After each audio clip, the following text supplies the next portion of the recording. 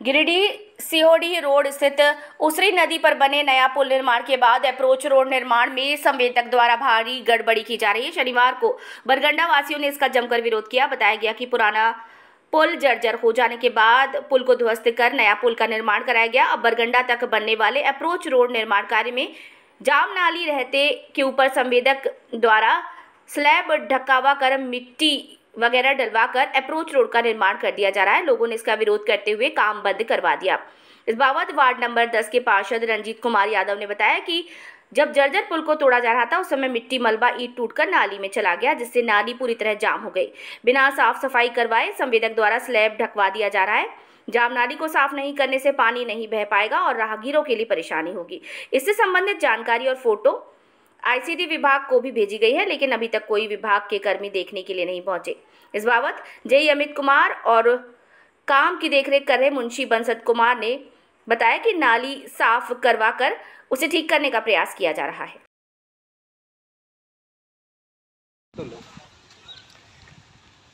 अब जो approach road बन रहा है, उसमें लगातार ग्रामीणों को शिकायत है कि मट्टी भरे हुए में आप लोग नाली पर ये डाल दे रहे हैं इसका स्लेब। साफ़ क्यों नहीं करवाते? नाली साफ़ करो साफ़ करवाए थे लेबर लोग आधा आधा साफ़ किया था। तो अभी अभी कहाँ साफ़ लग रहा है? पूरा नाली भरा हुआ है। कहना है कि जितना नाली का गड्ढा है उतना साफ़ करवाए। लेबर लोग से इम्पॉसिबल है। जैसे भी लगाएँगे साफ़ करवाएँगे उसके बाद मट्टी लगवाएँगे। तो अभी जो काम रुका हुआ है अब साफ़ के बाद काम शुरू जी काम रुका हुआ है साफ़ करवा लेंगे ढक्कन तब काम क्या नाम हुआ आपका? कौन है आप यहाँ? को अभी पुनः बनाया जा रहा है। पुल बनने के बाद जो उसका अप्रोच रोड बन रहा है अभी, उसमें संवेदक द्वारा मनमाने तरीका से पहले जब काम किया तो उसमें तोड़ताड़ हुआ, उसमें सारा मटेरियल पत्थर, बालू, ईटा, नाली में घुस के जाम हो गया। अब वो अप्रोच रोड बनाने के लिए जो नाली में स्लेब दिया जा रहा है, पहले से पूरा नाली भरा पड़ा है और अब उस पर स्लेब दे के ऊपर से मट्टी दे के उसको अप्रोच रोड बनाया जा रहा है, जबकि नाली को साफ़ नहीं करेगा तो ये पानी जीवन भर फिर राहगीरों के लिए परेशानी का सबक बनेगा और हमेशा ये यहाँ पे पानी का जल जमाव बना हुआ रहेगा। भविष्य में रोड भी बैठ सकता है, जो अप्रोच रोड है, मट्टी उसका बैठ सकता है पानी के कारण। आरसीडी विभाग के इंजीनियर को दो बार फ़ोन भी कर चुके हैं, उसको फ़ोटो भी भेज दिए व्हाट्सअप करके।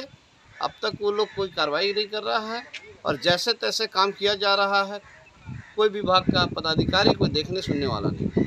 तो आगे आप लोग क्या चाह रहे हैं? चाह रहे हैं कि पहले नाली को साफ़ कर दे जो जाम है उसको खोल दिया जाए नाली साफ़ करके उसके बाद स्लेब लगा के तब उस पर मट्टी भरा जाए ताकि सही से रोड भी बने और बैठे नहीं। इसमें संवेदक क्या कह रहे हैं आप लोग? तो संवेदक से बोल का तो यहाँ पता नहीं है उसका जो मुंशी है वो कुछ नहीं बैठा हुआ अभी चुपचाप कुछ बोलता ही नहीं। है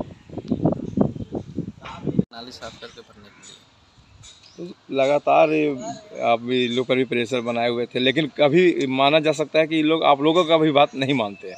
हाँ ये लोग नहीं मानता है। मनमाना है संवेदक का कह सकते हैं?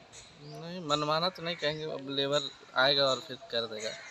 तो बिना लेबर का बिना सफ़ाई किए जो ये लोग स्लेब ढाल रहा था स्लेब उस पर नाली पे रख रहा था तो कहीं ना कहीं नाली जाम होता आने वाले दिनों में परेशानी होती।